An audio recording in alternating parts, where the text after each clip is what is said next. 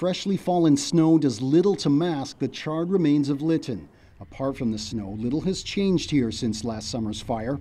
It's a sore point for residents who had hoped by now rebuilding would be in full swing.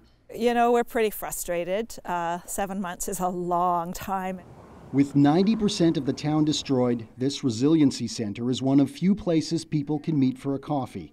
You can't get your mail, you can't go to the doctor, you can't go to the pharmacy. Um, you can't meet your friends. It's just a big empty pit down there right now, and you really worry about how long it's going to take to get people back. Lytton's mayor refused an interview with CBC News, saying tensions are running high.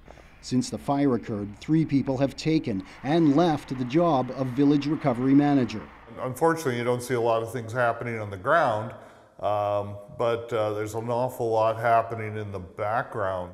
But the biggest roadblocks to recovery all the town's records were destroyed when the village office burned down. And then there's the complex heritage permit process.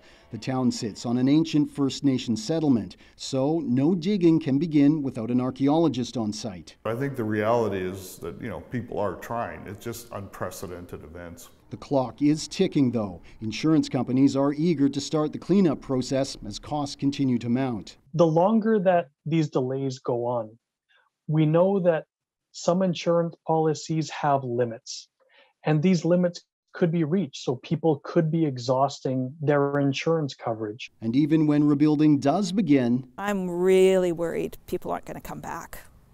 Too much time will go by, they'll get settled in other places. A concern felt by many here as they wonder the uncertain future of Lytton. Brady Strachan, CBC News, Lytton, British Columbia.